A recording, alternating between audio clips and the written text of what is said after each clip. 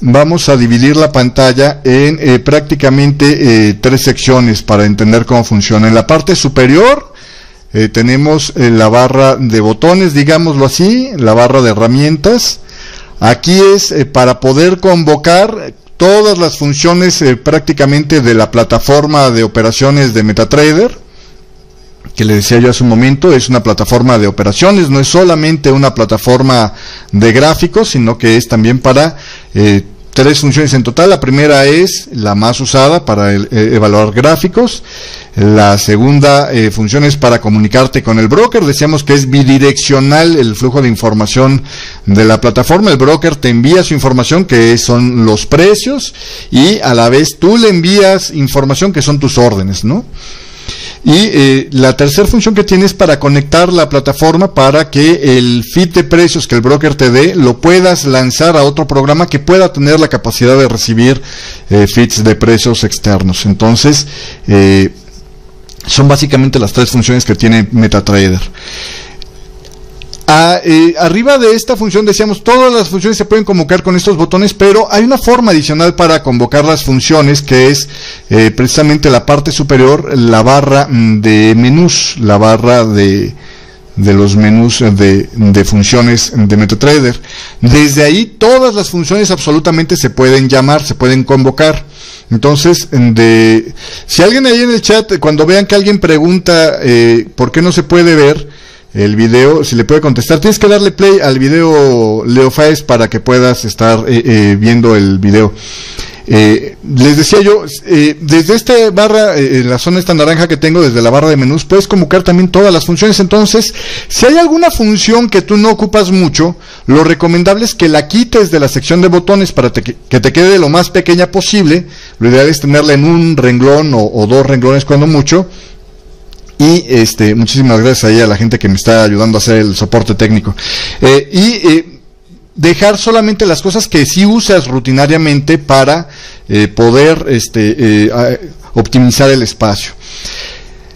Después abajo de esto viene la parte, digamos, de trabajo, ¿no? Donde realmente voy a estar ejerciendo el uso de la plataforma y esta corre, para ser así muy meticulosos, corre hasta este punto. Todo esto es el área de trabajo, todo esto es lo que voy a utilizar para poder ver gráficos y para poder hacer cosas. Y más abajo de eso viene una última sección que es el área que se utiliza para tener información, eh, es digamos la barra de información y es justamente esta última barra donde entre otras cosas puedo tener la información de si estoy conectado, y eh, si estoy recibiendo información. Básicamente eh, esto es lo que tienes, eh, como podrías dividir la plataforma de, de operación de MetaTrader. Una de las cosas que a mí me gusta de MetaTrader, aparte de que es muy ligera, puedo yo tener varias plataformas de MetaTrader abiertas en mi computador. Entonces, si yo, por ejemplo, tengo varios monitores, puedo optar por abrir dos plataformas de MetaTrader al mismo tiempo. Tengo que instalar dos veces la plataforma, tienes que cambiarle el nombre a cada distinta instalación y lo puedes hacer este uso. Eh, también puedes correr la, plataforma de MetaTrader, de MetaTrader de forma, digamos, eh, portátil. Te voy a, déjame quitar aquí los colorcitos estos.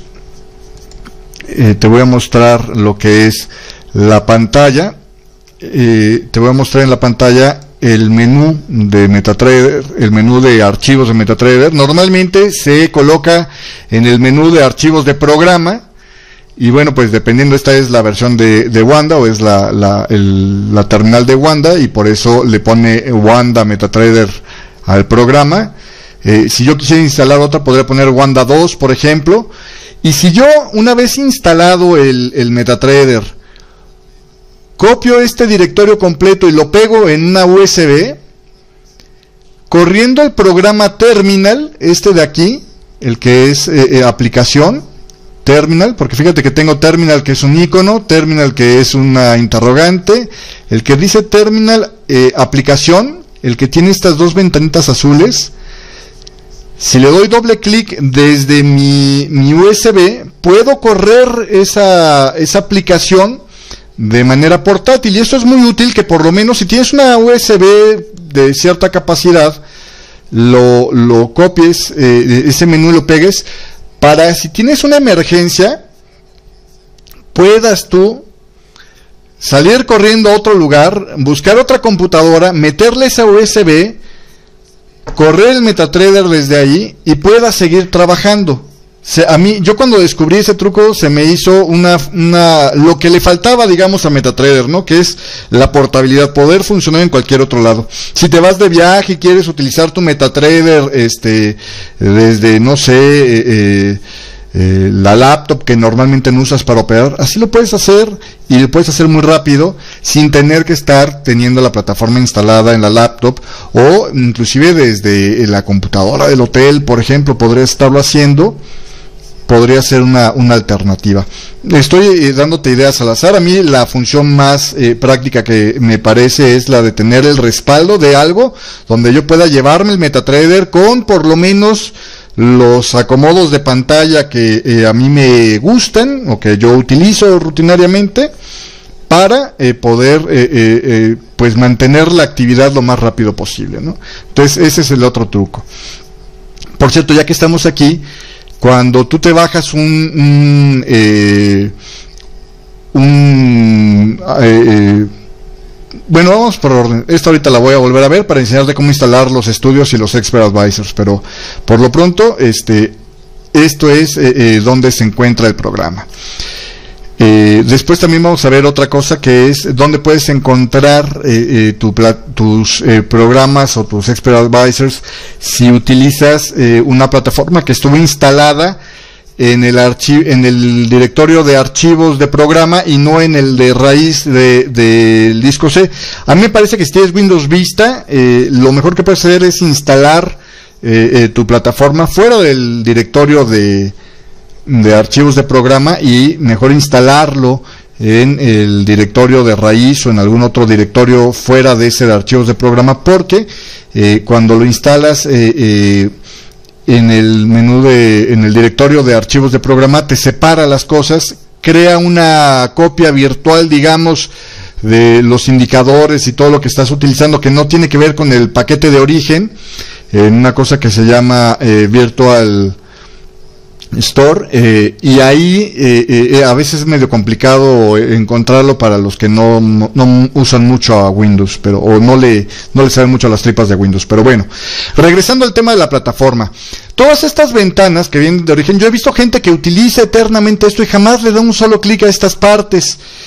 Y me pregunto yo y para qué lo tienes entonces puesto ah es que se podían quitar. Claro que sí todo esto se puede mover Igual que eh, puedes tú mover eh, eh, las partes del menú de botones y lo puedes dejar como una ventana adicional, por ejemplo, para ocupar este espacio de la pantalla, que es una buena solución si tú estás utilizando MetaTrader en un lugar donde hay una pantalla muy chiquita. Esta, esta resolución que estás viendo, por cierto, es de 800 por 600, porque es la que permite una fluidez mejor de los datos, al menos para mi computadora. y yo utilizo eh, monitores mucho más grandes y utilizo dos monitores en esta máquina y tengo otros dos en otra, pero bueno, este, eh, lo que quiero decir es cuando, pero podría llegar a utilizar una pantalla tan chiquita, por ejemplo, si tú estás utilizando una, eh, una mini lab, por ahí alguien si le quiere ayudar a Josué a que nos vea, este, si usted está viendo una, la pantalla en una, en una mini lab, usted o una netbook les llaman, este probablemente tenga una pantalla pequeña. Esta es una opción, ¿no? Eh, la de poder organizar eh, los menús, por ejemplo, eh, el de los time frames si quiere, fuera. Fíjese que para poder mover los distintas componentes del menú, lo único que tiene que hacer es tocarlos en la orilla punteada que tiene en el lado izquierdo y arrastrarlo a otro lado puedo ponerlo en, eh, digamos, eh, en el mismo espacio de eh, mi lado izquierdo, lo puedo poner, creo que en el derecho también se puede poner, si ahí está, mire, lo puedo poner en la parte inferior, en fin, yo puedo utilizar todos los extremos para repartir mis botones como yo prefiera. Puedo también quitarlos, ¿no? Por completo. Por ejemplo, voy a deshacerme del menú de periodicidad. Simplemente lo saqué de la barra de herramientas. Lo voy a volver a hacer con este otro menú. Lo saco y oprimo el tachecito para cerrar esta mini ventana que me queda flotante. Esto se llama ventana flotante. Y dejo de tenerlo ahí. Si lo quiero volver a convocar, entonces ahí sí tengo que irme a ver a la barra de herramientas por cierto, lo voy a explicar todo con el idioma en inglés porque es como default, eh, eh, por default, este, antes te lo tenía y yo me acostumbré eh, a, utilizarlo así. Pero si usted lo pone en español, por la posición se puede guiar y es exactamente lo mismo. Puede convocar sus menús de herramienta otra vez, se los pone donde la última vez que usted los dejó y de esta manera los puede estar viendo otra vez. A las herramientas, le decía hace un rato, las he puesto eh, justamente para que muestren absolutamente todos sus contenidos, pero también se puede variar eh, la cantidad de elementos que muestra cada uno de ellos. Y se lo voy a mostrar en un rato más. Eh, por acá dice, usa el demo, es gratis, sí, perfecto, pero usar MetaTrader, ¿qué inversión mínima piden para abrir una cuenta? Para usar MetaTrader, hay brokers, la mayoría de los brokers ya este, te piden la misma inversión normal. Eh, hay algunos eh, que piden, porque lo ponen como una ventaja adicional, y piden un mínimo adicional. Por ejemplo, si el mínimo para abrir cuentas es de 100 dólares, piden no sé, este, dos mil dólares, por ponerte un caso, ¿no? Este, creo que, por ejemplo, Forex.com era de los que hacían esa variación. No me creas absolutamente nada de lo que te estoy diciendo en ese aspecto. Ve directamente con el broker que te interese y prueba, este, ¿cómo se llama? Eh, o pregúntele al soporte técnico que tengan para ver si hay algún requerimiento. Pero normalmente ya casi nadie está exigiendo nada adicional porque, de hecho, MetaTrader y sobre todo esta versión 4, fue una plataforma que cada vez más y más brokers empezaron a tomar. Eh, cuando MetaTrader empezó, eh, eh, normalmente los brokers de Europa del Este eran los únicos que lo tenían porque pues era el vecino de ellos, ¿no? MetaTrader es una compañía de Chipre. Después de, un tiempo y que empezó a, ser, digamos, pedida por otros brokers, o bueno, los clientes de otros brokers empezaron a pedir MetaTrader, eh, empezaron a ofrecerlo cada vez más y más brokers hasta que ahora ya prácticamente es, eh, digamos, la plataforma por default, ¿no? Es la plataforma que casi seguro en todos los brokers te encuentras. Por eso es que también es muy útil aprender a utilizar MetaTrader. Y por esa misma función es un elemento mínimo de competitividad en los brokers, ¿no? O sea, broker que no tiene MetaTrader, broker que se mete, eh, se arriesga a perder clientes. Entonces, realmente no hay este eh, eh, mucho problema que tú digas, bueno, y si yo quiero tener una plataforma de MetaTrader este, con cuenta real, necesito tener una gran cantidad de dinero. No, no, de hecho es este, una de las plataformas más democráticas por lo mismo, ¿no? Regresando al, al tema de, de, de lo que es eh, precisamente esto de, de las partes de MetaTrader, lo mismo que puedo hacer yo con los botones de cambiarlos de lugar, lo puedo hacer con cualquier otra parte de la plataforma. Por ejemplo, yo puedo sacar la terminal y colocarla en otro lado y ponerla al tamaño que yo quiera o ponerla, por ejemplo, afuera en otra pantalla y estar trabajando la terminal desde otra pantalla. Perfectamente es posible eso, eh, eh, hacerlo con MetaTrader. Si tú tienes más de un monitor, puedes hacerlo perfectamente. Puedes hacerlo con cualquiera de las partes puedes estarlas teniendo y convocándolas y desconvocándolas. Este, aquí por ejemplo me la interpretó como que la puse como una extensión de la parte inferior. Eh, puedes eh, eh, ampliarlas y minimizarlas. Lo que quiero, lo que quería no era hacer eso, sino sacarla del contexto este. Ups, creo que voy a tener que cerrar otras cosas para poder eh, hacerlo pero en fin vamos a ver si ahora sí ya me deja es que aquí como estoy trabajando con un monitor muy chico ahí está ya puedo yo colocarlo de tantas maneras como quiera, ¿no? Creo que esa, esa idea queda clara. Hasta ahorita hay alguna duda en que se puede Eh, no vamos a recomendar brokers, eh, eh, mi estimada Leo Faes, porque el broker ideal es el que se adapta a tus necesidades. yo lo que te recomiendo es que uses un broker regulado por un buen regulador, como los mejores son el de Estados Unidos, la NFA de Estados Unidos, el segundo mejor regulador del mundo me parece que es la FCA del Reino Unido, porque hay muchas FCAs, este, la Financial Service Authorities, que, creo que le acaban de cambiar el nombre a la parte que regula los brokers, pero vamos, la regulación eh, eh, británica es la segunda más exigente, la tercera la de Japón, y después de ahí ya empiezan a bajar este, la confiabilidad, digamos, de sus centros reguladores.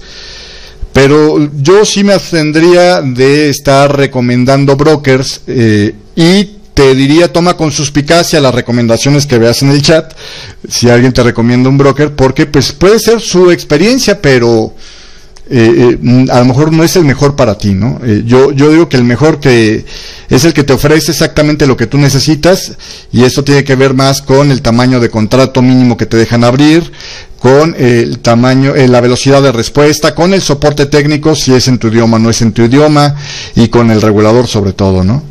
Eh, y, en los montos que te piden para abrir cuenta, ¿no? Eh, si eso coincide con tu realidad, es bueno para ti ese broker, si no, no es bueno para ti ese broker. Retomando el tema de la plataforma, me parece que otro de los puntos interesantes que habría que estar teniendo en cuenta cuando hablamos de, de la plataforma de MetaTrader, eh, aparte de que yo puedo mover las cosas, es que hay formas de hacer esto mucho más rápido. Por ejemplo, si yo quiero abrir la terminal, puedo oprimir control T. Déjame poner que esto te diga qué botoncitos estoy apretando para que puedas estar este, teniendo esa información en la pantalla. Ah, no me digas. A ver si puedo hacerlo así.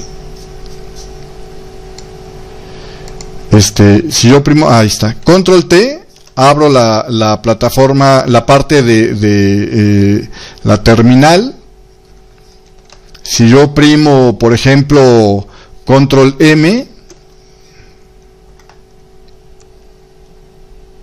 no, no me hizo caso, pero no sé por qué no me está dejando ver la terminal, pero ahorita la ponemos. Ahí está. Control M no sé por qué no me está cachando la idea de que estoy oprimiendo control M. Debe ser que el programita este que tengo abierto tiene alguna función con control M, pero bueno, con control M puedes convocar el market watch, que es donde puedes ver los pares, que ahorita vamos a trabajar sobre él. Si oprimo yo, este, por ejemplo, eh, control D, puedo tener la ventana de datos, que es la que sirve para poder tener la información de cómo va eh, eh, eh, lo que está sucediendo en cada una de las velitas o de los periodos de mi gráfico, ya sea lo directamente que tiene que ver con el precio, que aquí por cierto tú puedes ver que tengo dos columnas, a lo mejor tu MetaTrader solo muestra una columna, si le das botón contrario, te da la opción Last Data. Esto te deja fijo, cuando lo activas, te deja fijo en la primera columna la información de si te fijas no cambia, es la información de la vela actual y en la segunda columna la información de la vela donde tengo mi mouse. De tal manera que yo pueda hacer las comparaciones de manera muy fácil. Por ejemplo, yo quiero saber, aquí abajo tengo un indicador que se llama CCI, el Commodity Channel Index. Si yo quiero ver cuál es la diferencia entre el nivel que tenía el Commodity Channel Index en este nivel y en este nivel, en vez de tener que andar aprendiéndome el numerito y haciendo la comparación, simplemente me coloco en el lugar donde quiero comparar y veo en la parte inferior, digo, ah, mira, el que tengo eh, en, el momento actual es de menos 79 y el que tengo donde tengo el mouse es menos 88 y ahí puedo ver mucho más rápidamente cuál es la diferencia de ellos, ¿no? Entonces ahí está otro de los de los trucos que te pueden facilitar la vida. Yo veo de repente que hay mucha gente que anda haciendo, eh, mucho el mouse para tratar de comparar las cifras y sobre todo en aquellos niveles donde tú dices y ya realmente, por ejemplo, ya habrá roto el máximo, esta vela que tengo ahorita habrá roto el máximo de esta, ah pues ahí lo puedo ver, ¿no? El high que tengo, en esta parte lo voy a ver, el high que tengo en esta vela era de 97.50 y el high que tengo actualmente es de 97.44. Entonces, pues todavía no lo rompe. ¿Sí me explico? Para eso te sirve este data window. La otra opción, si te fijas, también lo puedo convocar con estos botoncitos. Y si no tengo los botoncitos, te decía, también desde el menú de herramientas lo puedo buscar. Tengo Market Watch, Data Window, el Navigator, que ahorita vamos a ver varios usos del Navigator, eh, pero te sirve, por ejemplo, para jalar este, indicadores de manera muy rápida en vez de andarlos buscando. Puedes estarlo convocando solo, lo, ah, eh, lo arrastras, lo sueltas sobre el gráfico que quieres utilizar y te aparece automáticamente. Y un truco adicional, yo puedo hacer que los dos, si no quiero ocupar, ya me dejó las gráficas muy chiquitas, yo quiero tener estos dos indicadores y que no me ocupen espacio adicional. Con botón contrario voy a borrar esta ventana de indicador y sobre la del MACD, por ejemplo, voy a aplicar el, CCI, el Commodity Channel Index, lo suelto aquí y en la misma pantalla voy a compartir los datos. Entonces ahí tengo el MACD funcionando por un lado y tengo el CCI funcionando de maneras independientes. Los dos eh, eh, funcionan como indicadores del precio, pero compartiendo el mismo espacio. Pero hay una función adicional que puedo hacer yo. Por ejemplo, puedo yo, este, casi todas las funciones también las puedes convocar con el botón contrario. Ahorita lo que voy a hacer es, voy a llamar a mi lista de indicadores con el menú contextual, que también lo puedo llamar y ahorita vas a ver, te voy a dar una lista de todos los los eh, eh, shortcuts les llaman los eh, botones de acceso rápido pero desde el botón contrario lo puedo hacer y de alguna manera puedo yo por ejemplo decir sabes qué quítame el MACD y déjame solo el CCI y ahora lo que voy a hacer a continuación es estar poniéndole un promedio móvil. Imagínate que yo quiero tener un promedio móvil al CCI porque mi técnica sí dice que debe ser. Entonces voy a ponerle un, un botón, este, un botón, un promedio móvil, perdón, al CCI. Lo que tengo que hacer es buscar el promedio móvil, moving average, lo arrastro y lo suelto sobre el CCI. Y ahí le voy a decir, ¿sabes qué? Pónmelo y voy a decir, bueno, yo quiero un promedio de 5, por ejemplo. Simple. Pero en vez de aplicado al close price. Cuando no te dice nada más que close, si lo pongo y lo arrastro sobre esto, lo puedo también este, sobre, acomodar sobre el indicador que tenía previamente la ventana.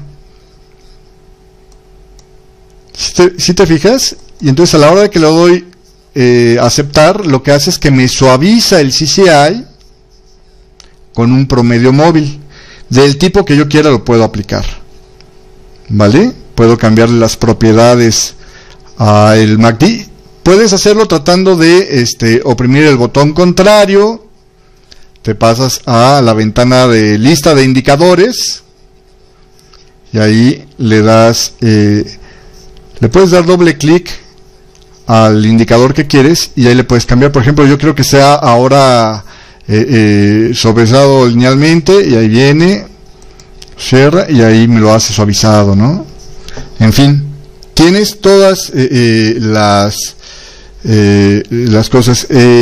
Leofas, ya comentamos que hoy no vamos a hablar sobre brokers, ¿vale? Eh, continuando con más, vámonos con... Bueno, ya vimos entonces cómo jalar y convocar desde el navegador, eh, digamos, estudios, ¿no?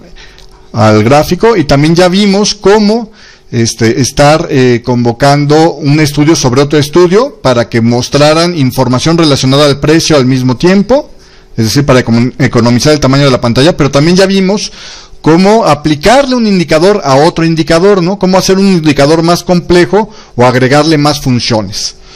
¿Hasta ahorita alguien tiene alguna duda con esto que estamos hablando?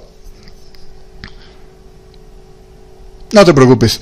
Este, ¿alguna duda con esto que hemos eh, eh, viendo hasta ahorita? ¿No? Perfecto. Vámonos a la siguiente parte que es cómo convocar un indicador. Bueno, ya viste cómo convocar un indicador utilizando el Navigator. Ya que estamos hablando de agregar eh, indicadores, y, ya viste también cómo puedes eh, agregar y quitar, otra forma de cambiar, por, por cierto, las propiedades de los indicadores es haciendo clic sobre el indicador, sobre la línea que despliega el indicador.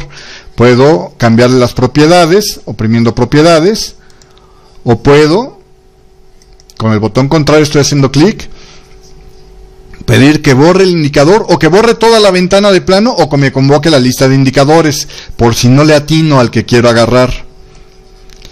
Voy a pedir que me borre toda la ventana, tengo otra vez el gráfico limpio y voy a ver otra forma de agregar indicadores. Otra forma de agregar indicadores es utilizando el botón para agregar indicadores, este de aquí que dice indicadores.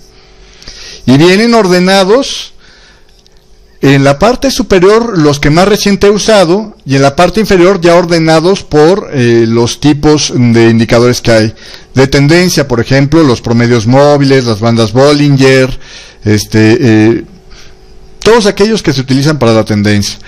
Los osciladores MACD, este, el oscilador de MACD, el de Marker, eh, no sé por qué en osciladores aparece Chimoku, pero Ahí lo pusieron, yo lo hubiera puesto en tendencia, pero en fin, cosas de los programadores. Los indicadores relacionados con volumen, que ahorita vamos a hablar eh, del volumen. Eh, el volumen lo puedes ver en tu gráfico, oprimiendo las teclas Control L. Si te fijas, aparece en la parte inferior unas barritas. Estas barritas son los indicadores. Por cierto, si quieres comprimir el tamaño del gráfico para ver más allá de los límites que normalmente te deja, lo que haces es que tomas el mouse, lo pones en la parte superior del área de precios y lo jalas hacia abajo y se comprimen los gráficos. O lo que es lo mismo, te enseña más alrededor de eh, donde está la actividad normal del precio. Normalmente por default un gráfico te muestra el espacio que ocupan los gráficos de las velas que tienes visibles. Si yo hago un zoom out, si te fijas, me da más espacio. Fíjate, eh, por ejemplo, aquí el precio superior es 104 y el precio inferior es 93, 92.34. Si yo hago un zoom in, que por cierto, otra forma de hacer zoom in, las formas de hacer zoom in son con estas lupitas. Zoom in significa que me voy a acercar, y esto es lo más grande que puedo ver mis velas, y zoom out es lo más lejos que puedo poner mis velas. ¿Vale? Hay, aparte de esto, si no quieres tener las velitas en tu, en tu pantalla, lo que las, perdón, las lupitas en tu pantalla, lo que puedes hacer es oprimir la tecla más y se agranda la pantalla. Si yo, ahí debería decir tecla de sustracción, pero bueno, si yo oprimo menos, se aleja, ¿vale? Entonces, con la tecla más puedo acercarme, con la tecla menos puedo hacer, eh, eh, alejarme. Eh, otra forma que puedo yo hacer para cambiar el tamaño de las velas es colocando mi mouse en la parte de abajo donde están las fechas y arrastrar el gráfico de un lado al otro. Por ejemplo, si yo lo arrastro hacia la derecha me lo contrae, si yo lo arrastro hacia la izquierda me lo agranda, o sea, me hace el zoom in. ¿Vale? Entonces ahí hay otra forma de hacer las cosas, eh, digamos, más rápida. ¿Vale? Otra de las cosas que puedes hacer es cambiar el tipo de gráfico. MetaTrader tiene varios tipos de gráfico, tiene tres básicamente, que es el gráfico de velas, que es el que tienes ahorita, pero puedes pedir gráfico de barras, que es exactamente la misma información, nada más que no cambia de color, bueno, en MetaTrader sí cambia de color las, las. Puedes pedir que te las pongan de un color distinto. Te las va a poner en el color del gráfico de línea, que ahorita lo vamos a ver. Y tiene las mismas, eh, digamos, las mismas funciones de información. En todo periodo tienes la apertura, el máximo mínimo, ¿no? Como todos, y el cierre que es el que sale hacia el lado derecho. Si yo lo pido en gráfico de de velas es apertura, máximo mínimo igual. Voy a dejarlo para que no se confunda con el volumen. Y tengo, este, ¿cómo se llama? El precio cierre Si es alcista la vela es de un color y si es bajista es de otro color, dependiendo de cómo lo haya programado. Ahorita vamos a ver cómo podemos hacer esos cambios. Nada más antes te quiero enseñar el otro tipo de gráfico que puedes poner, que es el de línea, que es una línea que conecta todos los cierres de precio. Y la única que está variando, pues es obviamente la última punta, que es la que expresa el tamaño actual de la vela. Por ejemplo, si me pongo en gráficos de un minuto, veremos que cambia de tamaño de forma mucho más rápida. Aquí no se nota mucho porque tengo el gráfico muy comprimido. ¿Cómo lo descomprimes rápidamente? Solo le das doble clic a la zona de precios y automáticamente se descomprime. Queda como queda en automático, está solo mostrando el espacio que tienes en la pantalla. Entonces, te fijas, ya vimos varios trucos aquí, vimos cómo acercar y alejar. Me voy a regresar al gráfico de velas. Puedo ah, eh, alejar la cámara, digamos, hacer un zoom out, ver más velas en la pantalla o puedo ver menos velas, al tamaño de velas que me resulte cómodo a mi vista para interpretar lo que está pasando, pero que a la vez me deje ver suficiente histórico para que no se me vayan las soportes y resistencias que hay por detrás, ¿no? Y puedo este, comprimir esto, por ejemplo, si yo quiero, y ahorita vamos a verlo con más detalle, pero si yo quiero, por ejemplo, trazar un Fibonacci y ver dónde se acaba, si mi swing de Fibonacci es eh, justamente en este nivel, y yo no quiero, este, eh, yo quiero ver dónde terminaría, por ejemplo, la extensión del 127, tengo que jalar hacia abajo. Si quiero ver el del 161, tengo que jalar más hacia abajo. ¿Sí me explico? Por cierto, verás que en mi gráfico, en mi Fibonacci, no se ven los precios. Ahorita te enseño cómo cambiar esto a mí me acomoda no ver todos los niveles porque de repente cuando eh, eh, tienes un Fibonacci muy chiquito, mientras más niveles tienes, pues más se montan entre ellos y prefiero eh, tener solo algunos de, referencia y otros no. También te voy a enseñar cómo ponerlo, ¿no? Cómo mostrarlos así. Pero básicamente esto es, este, ahorita vamos a ver todo lo demás. ¿Hay alguna duda de lo que estamos viendo hasta ahorita? No, vámonos con, bueno, si hay alguna duda por ahí, escríbamela y las vamos resolviendo. Este, hay otra cosa que puedo hacer, yo puedo tener un espacio a la derecha para darme una idea de qué más podría estar pasando. Se aplica con esto que se llama eh, Chart Shift. Cuando lo oprimo, automáticamente me genera un espacio. A lo mejor este no es el espacio ideal para mí, yo quisiera variarlo. Si te fijas, cuando oprimí Chart Shift, apareció un triangulito de color oscuro en la parte superior. Si yo este triangulito lo aprieto hacia o lo recorro hacia el lado derecho, se hace más pequeño el espacio extra que me da. Si yo lo corro hacia la izquierda, me da más espacio. ¿Vale? Entonces depende de tus preferencias, de lo que quieras estar haciendo, el nivel ideal donde lo puedes estar soltando. La, ventaja es que lo puedes eh, eh, ajustar, digámoslo así, ¿no?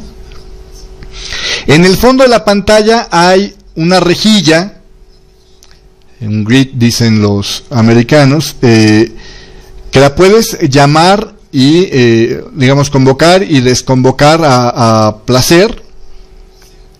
Si tú oprimes las, las teclas control G, desaparece y si estaba desaparecido, aparece. ¿Vale? Con control G lo llamas, lo apareces y lo desapareces. Lo mismo también puedo yo ver dónde acaba cada sesión. Si yo primo control Y, aparecen estas líneas punteadas que son los separadores de periodo. Me voy, por ejemplo, a pasar a gráficos de 30 minutos. Esta fue la sesión del día de ayer. Aquí empieza la de antier. Aquí están varias. Si yo me paso a 4 horas, son las semanas. Si me pongo en diario, son los meses, los periodos que te separa. Y si oprimo control Y otra vez, se desaparecen. ¿Vale? Eso es básicamente lo que tienes en, eh, la posibilidad de poner esas referencias. A mí, en lo personal, no me gusta porque me hacen ruido, pero eh, si alguien quiere ponerlos, pues ya sabe, con control G pones la rejilla y con control Y pones el separador de periodos. Los puedes poner los dos a la vez o puedes poner ninguno como a mí me gusta normalmente, ¿no? Básicamente esa es otra de las formas que puedes organizar. Ya vimos cómo agregar, eh, estoy tratando de irme en orden para no perder nada, cómo agregar, me estoy yendo por los menús. Eh, ya vimos cómo cambiar los tipos de gráfico, ya vimos cómo acercarnos y alejarnos. Ah, el auto scroll. Normalmente este siempre lo tienes por default presionado. Si lo tienes presionado, lo que va a hacer es que cada vez que el precio cambie, te va a mostrar la última vela. Si yo quiero ver velas atrás, ¿qué está pasando? Da un problema y es, si te fijas, por cierto, para ver velas más atrás, lo que hago es coloco el mouse en un espacio en blanco del gráfico, en un espacio sin velas, y lo arrastro. Pero si te fijas, como que se me regresa. Mientras más se mueva el precio, menos me deja ver atrás. Entonces lo que tengo que hacer es quitarle el auto scroll y entonces ya puedo ver perfectamente lo que hubo atrás en el precio. Si te fijas, ya puedo ver así qué pasó más atrás. Y si quiero ver lo último que está pasando en el precio, si lo quiero correr de manera rápida, oprimo la tecla fin y me deja ver la última vela. Otra forma de hacerlo es pulsando el auto scroll, el auto scroll, perdón, pulsando el shift, que lo que hace es pues mostrarme el espacio de separación. Otra forma de hacerlo es reactivando el auto scroll. En cuanto cambie el precio, cualquiera de estas dos me va, si está pulsada, me va a mostrar la última vela. ¿Vale? Ya vimos de alguna manera incidental que con este menú puedo cambiar los time frames. Si quiero ver el gráfico de un minuto, si quiero ver el gráfico de cinco minutos, de 15, de 30, de una hora, de cuatro horas, de diario, de semanal y de mensual. Ojo que hay algunos brokers que tienen problemas en el feed de eh, en algunos instrumentos del mensual y si lo oprimes se te traba. Ojo con eso nada más. ¿Vale? Pero básicamente esto es lo que puedes estar eh, eh, haciendo, ¿no?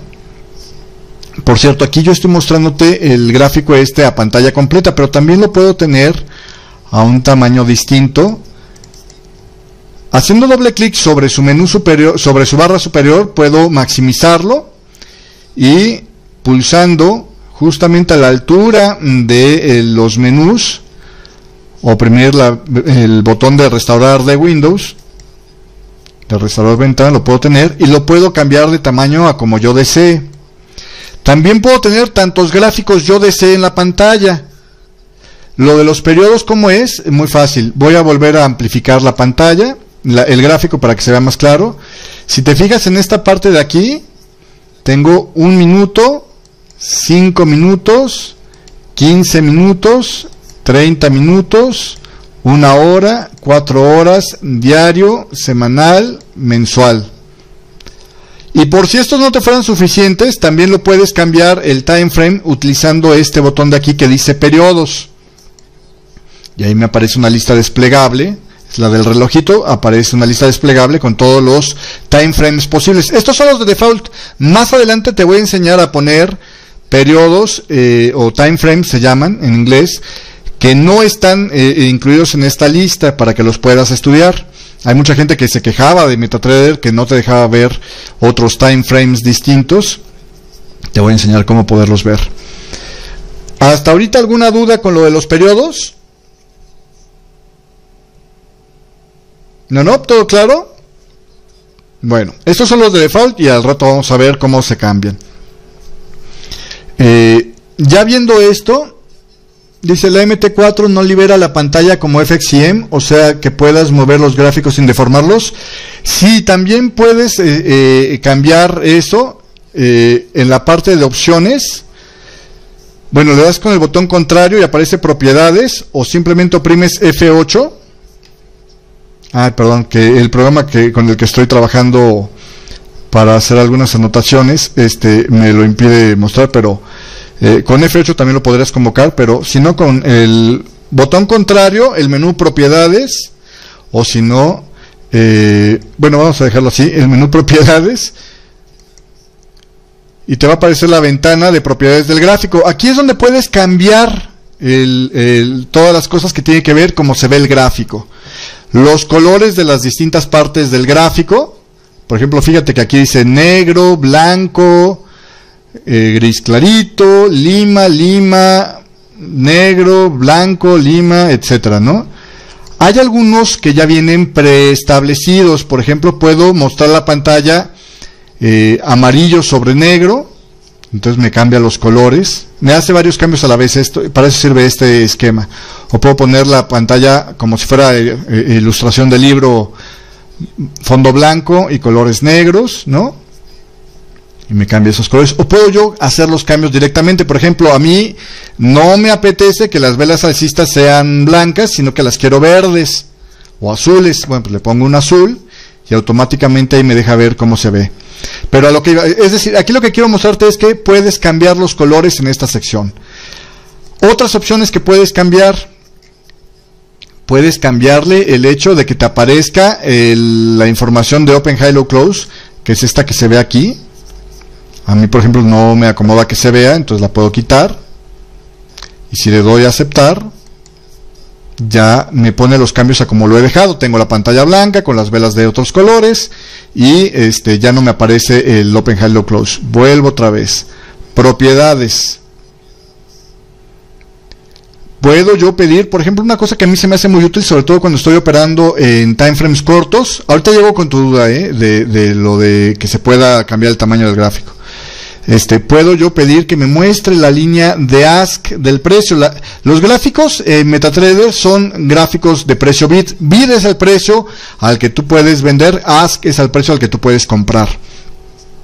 Los gráficos en MetaTrader son bid, pero puedo pedirle que me muestre dónde está el precio ask. Me voy a acercar a gráficos de un minuto para que se vea, digamos, un poco más eh, eh, clara esa diferencia, porque si tengo el gráfico muy comprimido, las líneas acaban funcionando, ¿no?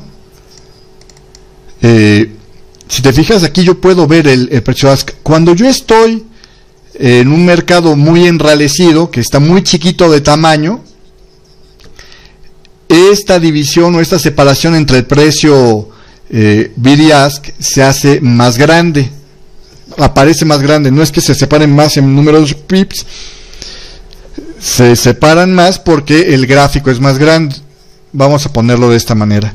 Fíjate que mientras más grande tengo yo mis velas, es decir, mientras menos distancia hay entre el máximo de la vela y el mínimo de la vela eh, eh, que aparece en la pantalla, pues obviamente más amplias son las proporciones que me presenta de precio en el escalado. Entonces puedo notar mejor el ASC. Entonces a mí me sirve ese de referencia para poder eh, poner el tema. Me dice, ¿cómo ponías los dos precios? Si te regresas, es en propiedades. Y aquí le dices, muéstrame el show ask line, ¿no? Si lo palomeo, se activa, si lo despalomeo, se desactiva. Lo mismo que te mostré de la rejilla y del, del separador de periodos, que lo hicimos con teclas, también lo puedes activar y desactivar desde aquí. Los volúmenes que los convoqué con control L, también los puedo convocar y desconvocar desde aquí. Y eh, la descripción de objetos. Ahorita vamos a, ver qué es la descripción de objetos. Eh, voy a poner un objeto en la pantalla. ¿Por qué no lo puedo amplificar? Quién sabe, pero bueno. La descripción del objeto es que cuando yo me coloque sobre el objeto me diga qué hay básicamente. Me parece que por ahí va el asunto. Bueno, ahorita vamos con los objetos. Eh, también puedo yo pedir que la, la gráfica se eh, deje de estar actualizando, se haga, eh, perdón, se deje de estar actualizando, se eh, desconecte del feed de precios actuales y también que eh, se haga el espacio este de separación al lado derecho no, en fin, todas estas proporciones. Ahora, la pregunta que me decían de que para que no se deforme el gráfico, yo puedo pedirle que me muestre un tamaño fijo.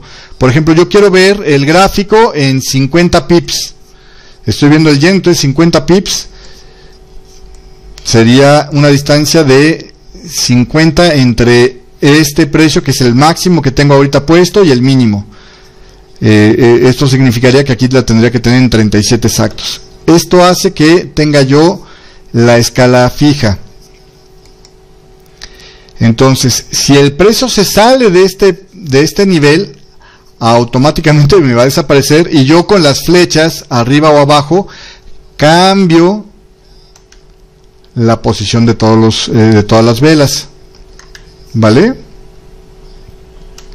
con las, eh, eh, izquierda y derecha me, me, regreso o me adelanto si le quito el auto scroll el que se recorre al final automáticamente cada vez que cambie el precio ya puedo estar moviendo así el gráfico ¿Vale? Y para aquellos que les gusta lo de GAN, también pueden fijar el 1 a 1. Me voy otra vez a propiedades. Perdón, le fijo el 1 a 1. Y ahí me fija un, recorrido. Esto es equivalente a eh, si estuvieras, bueno, puedo hacer más chica la pantalla, eso sí al si estuvieras tú eh, manejando, digamos, en papel milimétrico el comportamiento de los gráficos. ¿Vale? ¿Dudas, preguntas, comentarios? ¿No, no? Perfecto, ya que tenemos esto, yo la verdad es que yo recomiendo para que no se te pierda el precio de repente de vista, sobre todo si vas a estar nada más monitoreando y no haciendo cálculos en este momento, que lo dejes siempre como por default viene, sin escala fija, para que el precio se escale en cuanto aparezca nueva o, más vieja información.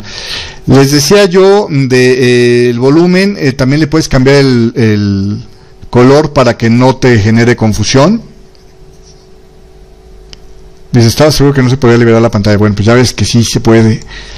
Yo te recomiendo que cuando uses volumen lo utilices eh, con un color que contraste a los extremos de tus velas para que no se confundan. Por cierto, otra cosa que puedes hacer es pedirle que el gráfico esté adelante o atrás. Voy a ver eh, eh, de explicártelo en este momento. Voy a poner una línea en la... ¿Qué dice? ¿Quién sabe? Voy a poner una línea en la pantalla Déjame cambiar el, esquema a un esquema de verde sobre negro para que resalten los colores que tengo aquí. Por cierto, todos los gráficos puedes cambiarles el color. Todos los elementos, no solamente al gráfico, sino a los elementos que pongas, puedes cambiarles el color. Ahorita nos vamos con los elementos nada más. Eh, lo que quiero es explicar lo que es tener en el fondo la gráfica o en el frente la gráfica. Voy a poner, te voy a tener que mostrar esta parte forzosamente. Voy a poner una línea extremadamente gruesa para que se note la diferencia. Fíjate cómo la línea de horizontal que tengo aquí está por detrás de los precios. ¿Cómo lo sé? Porque si yo me acerco, puedo ver que las velas no tapan, eh, pero no son tapadas por la línea. Y esto puede resultar un elemento cómodo, ¿no? sobre todo si yo tengo muchas líneas, de repente me puede eh, generar confusión dónde es que terminó el precio en tal periodo porque la línea me lo está tapando. Pero hay veces que lo que yo quiero es precisamente ver que el precio eh, se subyugue, digamos, a lo que está haciendo el gráfico. Por ejemplo, si tú dibujas unas bandas de Bollinger, voy a agregar un indicador que ya habíamos visto que se agregaba por acá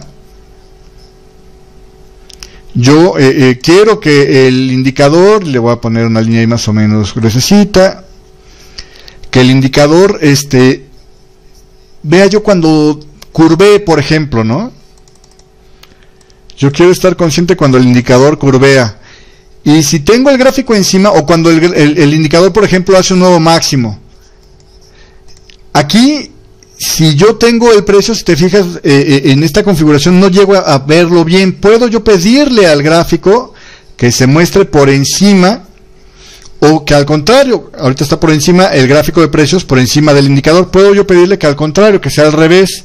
Y entonces ahí es donde, si yo le quito eh, esta posibilidad de Chardon Foreground, foreground lo que hace es que ahora sí ya los elementos gráficos tapan las velas y entonces le estoy privilegiando la información visual a eh, el indicador. Voy a volver a poner la línea para hacer eh, más obvio esto. Si te fijas como ahora ya mi línea tapa a las velas, Entonces, para eso, para eso te sirve esta última opción. Y con eso ya vimos todas las opciones prácticamente que tiene el, el ¿cómo se llama? El gráfico disponible. ¿Dudas, preguntas, comentarios hasta aquí? ¿No, no? Vámonos entonces con otro menú. Ya vimos estos dos menús de aquí.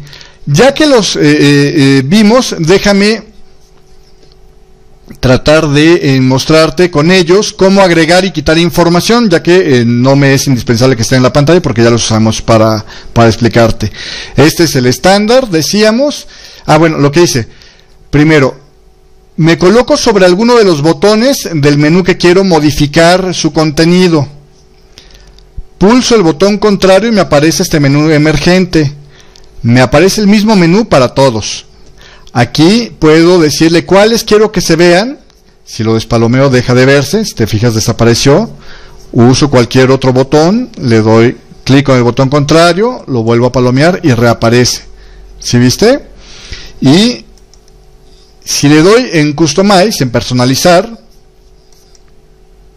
me aparece esta ventanita hay dos secciones, te fijas, una que dice available, o sea, disponibles, y seleccionados. Y tengo un par de botones, uno que apunta hacia la izquierda, otro que apunta hacia la derecha. Si yo selecciono algo del menú de la derecha y lo le pulso remove, o sea, lo paso a la izquierda, no lo pierdo, simplemente lo cambio a ya no seleccionado. Digamos que yo nunca aplico esto de el o sea, nunca cambio el que la eh, vela se esté eh, actualizando y que la vela, que la gráfica esté con un periodo en blanco en su principio. Puedo yo quitarlos y ya me aparece más chico el menú. Si te fijas, eficientizo ahí el espacio. O yo nunca cambio, yo siempre uso velas y nada más que velas. Otra vez con el botón contrario sobre el botón que yo quiera pero eh, eh, moverle su contenido y le digo customizar. Puedo yo regresar estos a lo que tenía y quitar los que no quiero. Por ejemplo, yo nunca cambio el tipo de gráfico, por ejemplo, pues bueno, puedo hacer esto. Entonces ya no me aparecen. La idea es que quites los que no ocupas y dejes solo los que sí ocupas. Lo mismo puedo quitar esto, por ejemplo, y ahí ahorrar espacio, ¿no? El de periodicidad, el de los time frames, lo puedo quitar y entonces ya puedo subir esta aquí arriba y ver los dos. Oye, pero que se me sale de la pantalla, ¿qué pasa? Te enseña hasta donde puedas ver. Entonces, eh, vamos a explicar qué es lo que se puede hacer con esto para quitarlo lo más rápido posible. En este menú, vamos a ver qué funciones hay en este menú voy a minimizar la, minimizar, perdón, restaurar el tamaño del gráfico. Te decía yo, tú puedes ver con MetaTrader tantos gráficos como quieras al mismo tiempo. Y la verdad es que cuando yo digo puedes ver tantos cuanto quieras, eh, lo digo literalmente, eh, como es tan eficiente en el, en el uso del procesador de tu computadora MetaTrader, puedes tener literalmente un montón de, de gráficos eh, corriendo al mismo tiempo en la pantalla y MetaTrader corriendo tan ligerito casi como, como si tuviera solo uno. Digo casi porque sí le ocupa más proceso, pero a veces es imperceptible la diferencia.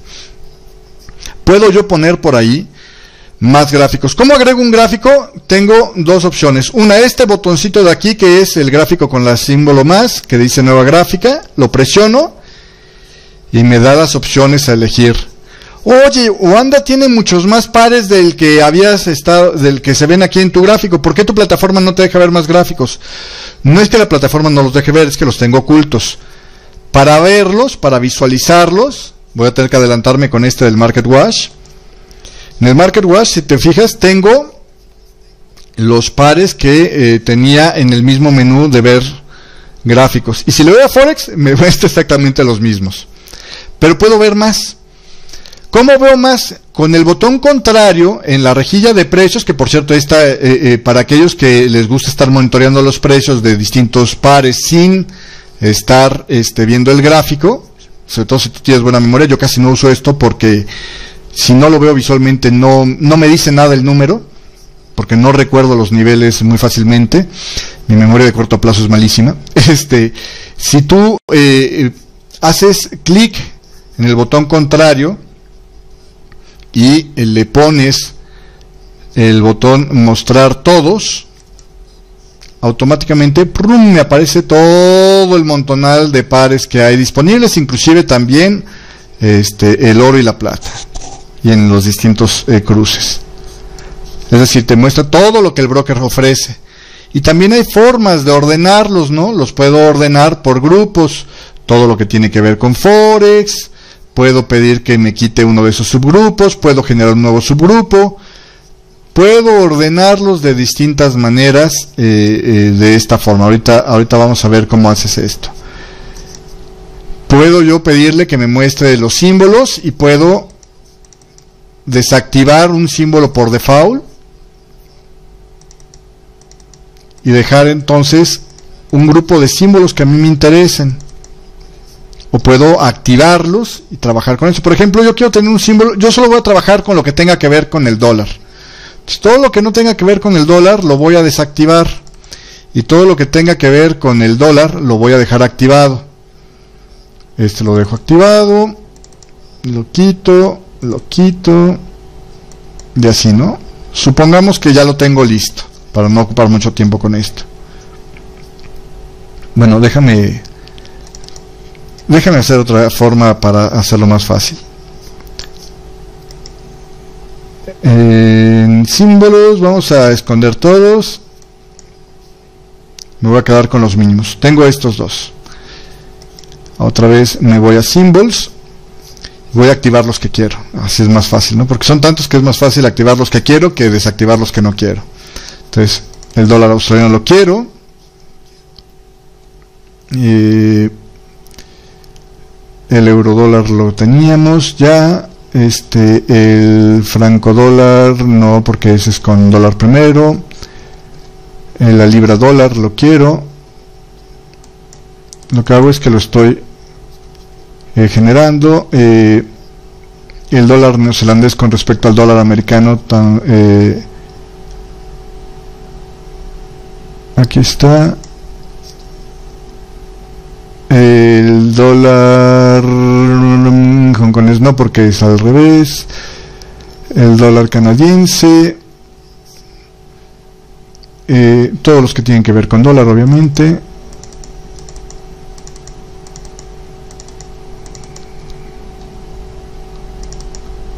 Digamos que son todos los que quiero ¿no?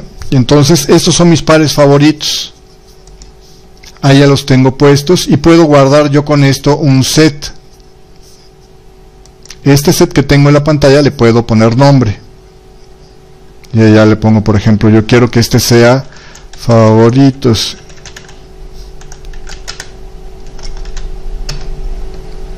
Entonces cuando yo le doy aquí contrario en sets ya me aparece también mi set de favoritos. Entonces puedo yo pasarme a los de forex o a mis favoritos. ¿Dudas, preguntas, comentarios? ¿No? Bueno, otra cosa, mucha gente dice, oye, MetaTrader no tiene gráficos de ticks. Sí, sí tiene gráficos de ticks. No los tiene para que los estés viendo siempre, pero sí los tienes para, de default por lo menos. Pero eh, sí tiene gráfico de tick que lo puedes estar viendo ahí. Entonces yo puedo tener, eh, por ejemplo, el dólar neozelandés en la gráfica y voy a aprovechar para mostrarte cómo cambiar rápidamente de par con una configuración que tengas en la pantalla, simplemente agarro el par, lo arrastro y lo suelto. Oye, ¿eso como para qué me sirve? Ahorita vas a ver. De hecho, es una de las funciones relativamente eh, cómodas.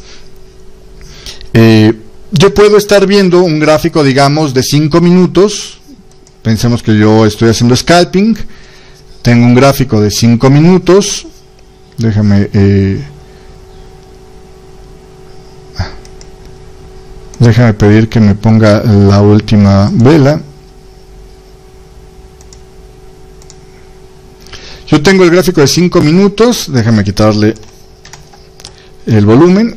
Tengo el gráfico de 5 minutos lo tengo en mi pantalla y tengo el gráfico de ticks entonces yo puedo estar viendo el comportamiento digamos más cercano del gráfico de la vela puedo esto ensancharlo tanto como yo quiera y me enseña, mientras más me enseña más, más eh, eh, pasado.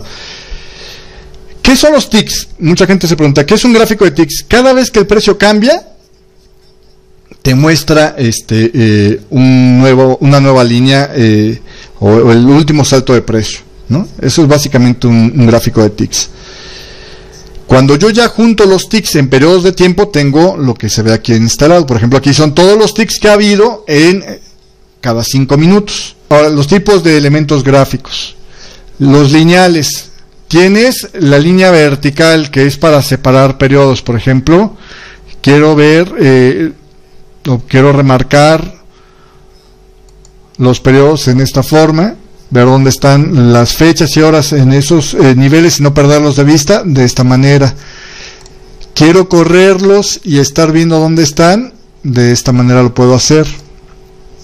Selecciono, siempre que quiero mover algo, lo selecciono haciendo doble clic, a menos de que le haya especificado que quiero que sea en un solo en un solo clic. Y ahorita te voy a enseñar cómo se hace eso.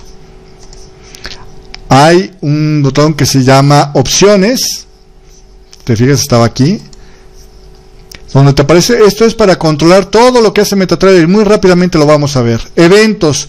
¿Qué eventos pueden hacer sonar a MetaTrader? Y si no quieres que suene, le quitas esto. Bueno, obviamente en el server, todo lo que tiene que ver con la información del contacto con el broker. Y te acuerdas que decía que esta plataforma permite enviar el feed de precios de tu broker a otros programas que permitan aceptar feeds de precios externos. Con esto lo haces, lo activas y con esto te permite estar mandando el feed de precios. De, de al, viene la ayuda donde te suelta los feed de precios, todo esto. Ahí está. Eh, también eh, puedes tú, eh, viene ahí una sección de ayuda para exportar el feed de precios, etcétera. Ahí lo puedes hacer. también puedes tú, si de repente tu proveedor de internet te ha puesto proxy, y necesitas activarlo, bueno, pues entonces aquí lo vas a activar y ya le pones las configuraciones para eso, ¿no? Este, en fin, todo lo que tenga que ver con este tipo de cosas, eh, desde aquí lo puedes cambiar. En los gráficos, todo lo que tiene que ver con lo que aparece en los gráficos, por ejemplo, lo que habíamos visto que queríamos que apareciera por default y la otra cosa es el hay un consejo por ahí que dan, si tú de repente tienes eh, muchos gráficos o muchos indicadores técnicos y se te hace lento el MetaTrader, una forma de aligerarle la carga a la computadora es reducir el número de barras en el gráfico. En el tema de eh, la siguiente pestaña, objetos, puedes pedir que te muestre las propiedades del objeto luego de haberlo creado. Por ejemplo, yo voy a trazar una línea. Después de que la trazo, le puedo pedir que me muestre esta ventana que es la de propiedades. Y entonces, si yo cada línea que voy a trazar voy a cambiar el color, probablemente me convenga tener esta opción activada. Si no lo voy a cambiar, lo que más me conviene es como está normalmente, ¿no? Que es despalomeada. Y entonces dibujo yo la línea la termina de trazar y cuando, por cierto, para dibujar una línea, voy a irme más atrás para los más nuevos, selecciono el objeto gráfico, selecciono el punto de origen donde quiero trazar el objeto gráfico, pulso el clic izquierdo o el clic de activación de cosas de tu mouse, porque hay solo los que pueden cambiarlo, eso es propiedad de Windows, eh, y lo empiezo a arrastrar sin soltar el botón hasta donde lo quiero dejar suelto el botón y automáticamente me queda eh, la línea de trazada. La línea la puedo hacer como está esta, con una extensión, es decir, que se siga dibujando más allá de donde dejé la extensión, o puedo yo eh, pedir que la deje cortada hasta donde dejé de hacer el trazo. Para hacer esto, hago doble clic para seleccionar la línea, pulso sobre la línea en cualquier parte con el botón contrario, le pido que me enseñe las propiedades de la línea de tendencia, que es el elemento que acabo de dibujar.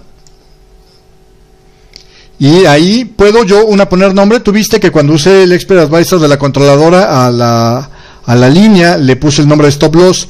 Puedes ponerle nombres a los elementos gráficos y el nombre te sirve una para que tú lo puedas identificar y otra te sirve para que puedas eh, permitirle a los expert advisors que, y a los indicadores técnicos que los identifique. Eh, para quitarle la extensión, le puedo yo pedir que me ponga o me quite el rey, por ejemplo, el rey es esa extensión. Si yo se la despalomeo, me la va a dejar marcada hasta esta zona. Oye, a mí me choca que cuando estoy usando eh, el MetaTrader, al día siguiente tengo que andar borrando las líneas del día anterior porque opero en timeframes muy cortos y las líneas que dejo me, me estorban para el día siguiente. Bueno, lo que puedes hacer es seleccionas la línea, para seleccionar una línea, insisto, toca donde está la línea Dice por acá, la mala noticia es que debo reconocer que me creí un experto en MetaTrader y ahora acepto que no. La buena es que siempre quiero aprender exactamente. Este, eh, para extender una línea, seleccionas la línea, oprimes la tecla Shift, que es con la que pones las mayúsculas eh, en tu teclado, y sobre la última parte arrastras la línea sin cambiar. Si te fijas, yo estoy moviendo el mouse y no se cambia la forma de la línea, nada más se extiende. Lo mismo puedo hacer con el límite inferior. ¿Sí ves? Lo va a dejar justo en donde quede mi mouse. Aquí se ve más claro. Agarro, selecciono donde está y va a quedar justo donde quede mi mouse. Esto, por ejemplo, es muy cómodo si estás eh, trazando triángulos de Elliot para eh, eh, sacar la medida del impulso del triángulo, el thrust measurement. De, le estoy destrozando el inglés hoy, pero bueno, en fin. Este, la medida del impulso del triángulo, o la medida de confianza de tu triángulo, que debe haber sido medida de impulso, pero en fin, este, la puedes dejar así muy bien, ¿no? Así ya colocas tu mouse justo donde estaba el origen de la onda A y ya con eso tienes precisamente eh, para la, que no coincide con ella el término y puedes medir exactamente el tamaño y no calculado ahí más o menos. Bueno, ahí están dos funciones. La otra función que puedes hacer con los elementos gráficos, si tú seleccionas una línea, oprimes la tecla control, una línea o cualquier otro elemento gráfico, todos estos son elementos gráficos. Oprimo la tecla control y arrastro hacia afuera de la línea, es decir, donde no hay línea, el elemento, tengo un elemento idéntico. Y entonces puedo con eso trazar canales de forma mucho más eficientes. Y no tengo que hacerlo como se hace en las plataformas que no te dejan hacer eso, ¿no? De origen a final, lo pones en la proyección y luego vuelves a trazar el canal. ¿Vale? Entonces así es como duplicas los elementos. Y lo puedes duplicar cuantas veces tú quieras. ¿Vale? Esta misma función la puedes aplicar, tanto la de la que te mostré de este de eh, extender una línea como de eh, eh, duplicar en cualquiera de los elementos gráficos. Vamos a seguirnos con los elementos gráficos. Por ejemplo, tienes el elemento gráfico, bueno, ya vimos el de horizontal, vertical, el de línea. Ah, el de horizontal nada más, aclarar que tú puedes ponerlo directamente en un precio específico. Por ejemplo, yo quiero tener el 1964, 1965 cerrado. Puedo poner eh, propiedades de la línea horizontal, me voy a parámetros y ahí le pongo el 1965 exacto. ¿Vale? Entonces ya quedó justamente el 1965 y no tengo que andar media hora calculándole el tamaño. MetaTrader tiene una función que eh, se llama eh, la de imán, que lo que hace es que cuando tú dejas una línea o un elemento gráfico lo suficientemente cerca de una de, un nivel de una, una velita, se ajusta a ese nivel de velita. Eso también lo puedes controlar desde el menú de opciones. Antes lo teníamos como un imán afuera, luego lo quitaron y lo reaparecieron en el menú de opciones. Y es aquí en esto que se llama Magnet Sensitivity. Si yo dejo, puedo pedirle que el rango de sensibilidad sea a 20 pips. Entonces, si yo a 20 píxeles, píxeles es el punto mínimo que reconoce tu pantalla. Si yo, por ejemplo, trazo esta línea y la dejo así de alejada, yo espero que ya en el rango de píxeles quede como para poderla pegar. Si estás cuando la suelto, automáticamente me la pego. Si a ti te molesta que eh, eh, se te estén reajustando las líneas y lo quieres quitar, no debes mandarle un email a MetaTrader para que te lo quiten. No, lo que tienes que hacer es meterte a opciones, porque el otro día me encontré ese post, y poner cero, y entonces ya no va a haber imán. Donde lo pongas es donde quedó y ya no se te brinca. ¿Vale? Y esto es como, por ejemplo, para cuando quieres manejar niveles de Fibonacci, exactamente en niveles, por ejemplo, los Fibonacci Extensions, para medir las proyecciones de los triángulos o algo así. ¿Dudas, preguntas, comentarios sobre esto? No, no. Opciones, vamos a seguir con las opciones. Seleccionar el objeto después de su creación, bueno, normalmente, voy a palomear, voy a poner normalmente como está. Normalmente yo escribo un objeto y no queda seleccionado. Si lo quiero seleccionar, tengo que oprimir doble clic sobre él. Pero si yo quiero que quede seleccionado, todos los objetos que yo dibuje, puedo pedirle en opciones que seleccione el objeto después de su creación.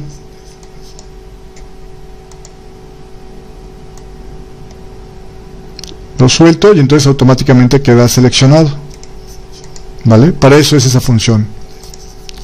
En opciones, vamos con la siguiente pestaña, Trade.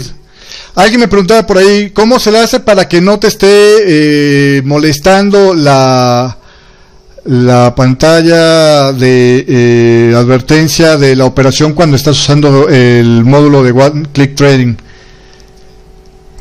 Cuando no quieres que funcione el One Click Trading, es decir, cuando no quieres meter operaciones de forma eh, de un solo clic en la pantalla, o cuando quieres, por ejemplo, cerrar una operación eh, utilizando eh, cierres parciales, tienes que desactivar el One Click Trading y los, eh, los desactivas así, con opciones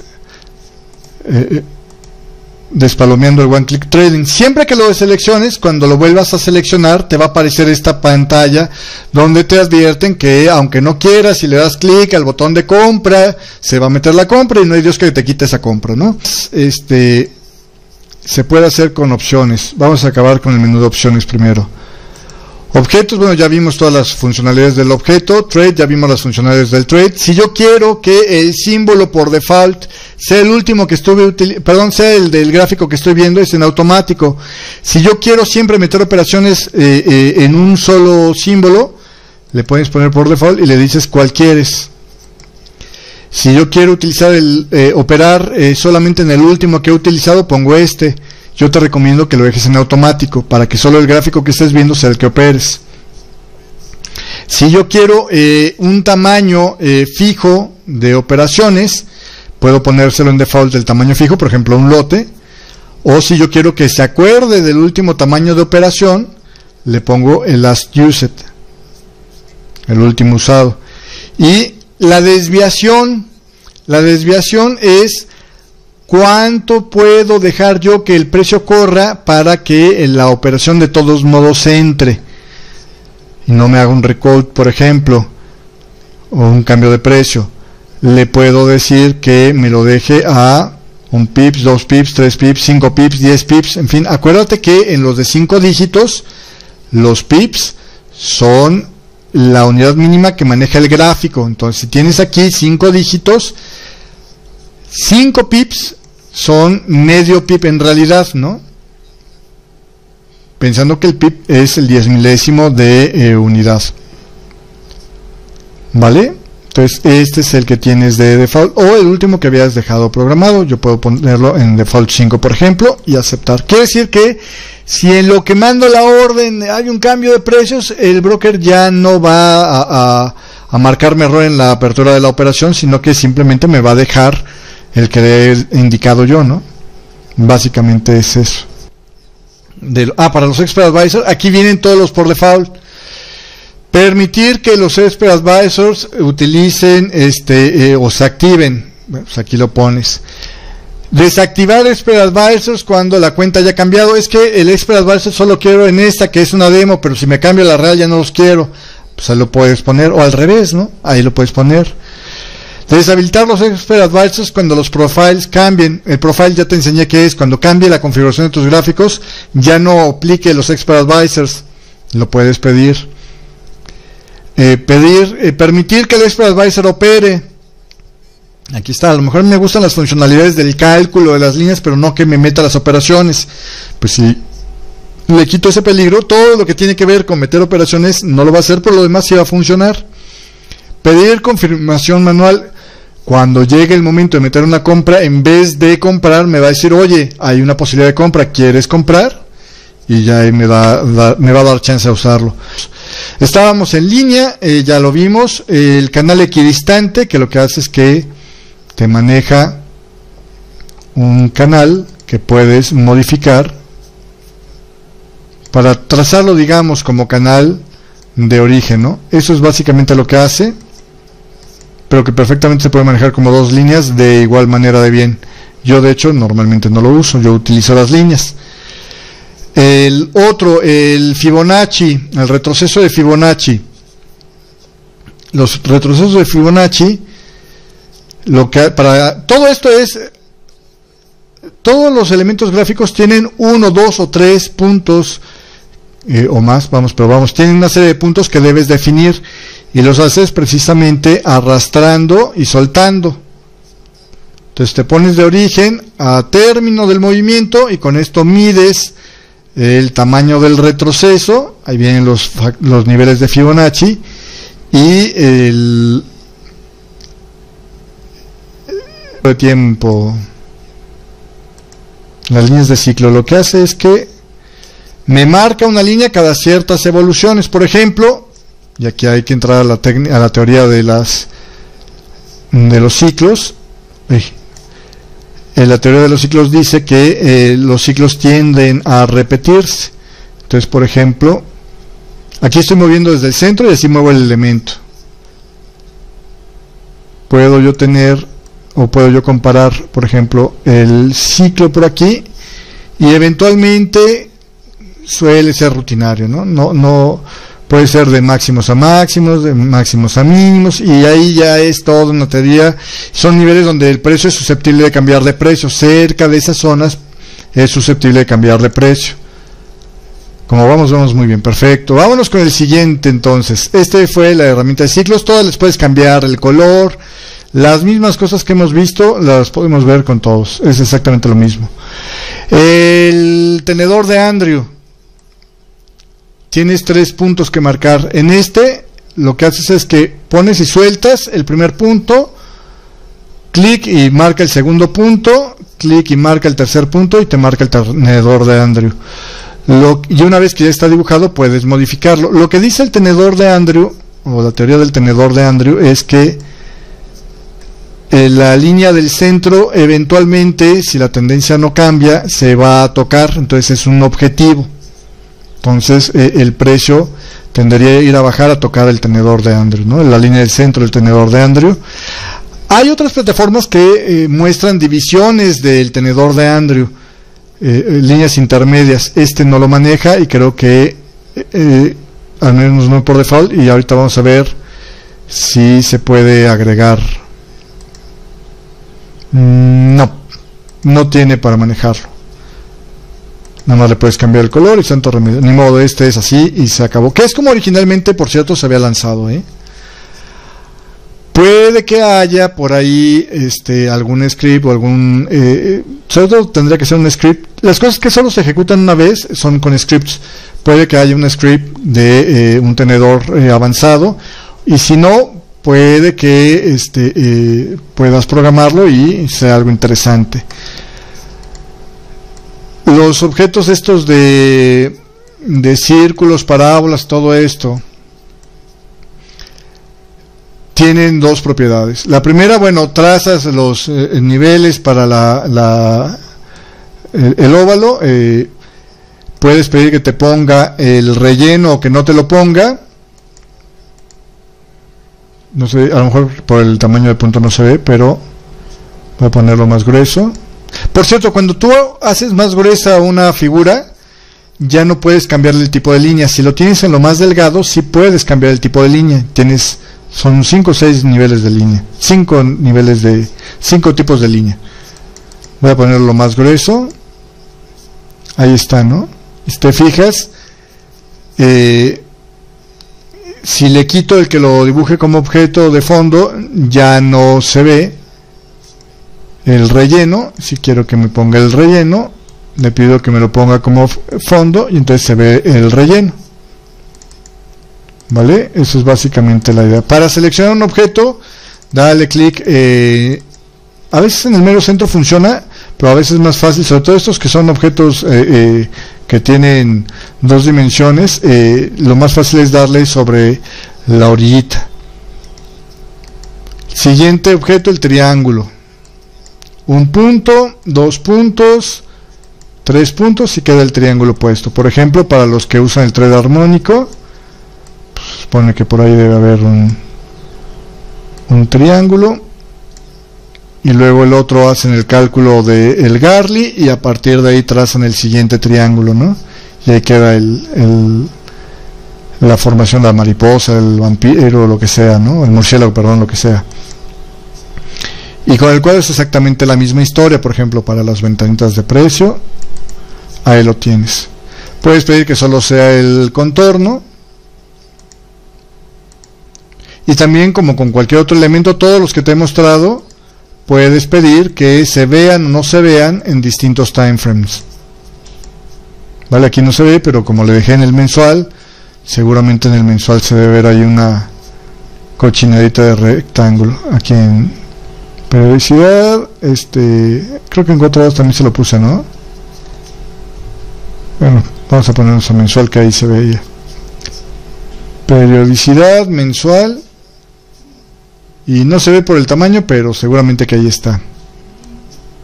¿Vale? ¿Dudas, preguntas, comentarios hasta ahorita? Si hay un objeto que no encuentras, desde aquí lo puedes localizar y lo puedes estar borrando. O puedes seleccionar varios a la vez. Ah, no, pues ahí está. Puedes seleccionar varios a la vez. Y delete, perdón, no suprimir. Delete, el, botón delete y ya queda, ¿no? Ya le vas a cerrar. ¿Dudas, preguntas hasta ahorita? ¿No? ¿Todo bien? Canal de Fibonacci lo mismo, nada más que te lanza paralelo al nivel de tu, eh, de tu canal, te lanza en proporciones de Fibonacci que le puedes cambiar paralelas, ¿no? Entonces así es como lo puedes tener. Otro, este, perdón, aquí lo borro. El delete del botón de propiedades es para los niveles. El de este, el Fibonacci Arc, aquí se ve muy, muy abierto, pero si yo comprimo el gráfico, debo ver el radio mucho más concentrado. Ah, déjame, déjame volverlo a trazar en un timeframe más bajo. Voy a bajar a una periodicidad de... Fíjate cómo no tengo el menú de periodicidad, pero puedo seguir cambiando de timeframes. Y si no quise hacerlo con el contextual, también desde aquí se debe poder ver, espérame. Periodicidad, ahorita te digo dónde está. Aquí está, en charts, periodicidad. Todo, todo lo que te estoy mostrando se puede ver eh, eh, utilizando los menús. Continuando con más en el tema este de el, la estábamos ahí con el arco, perdón, se me había ido el avión, en el arco. Igual, origen, final y queda, ¿no? Híjole, aquí se ven enormes, pero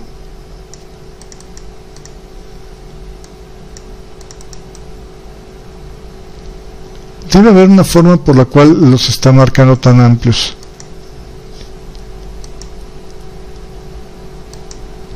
Tac, tac, tac, escala, vamos a bajar la escala.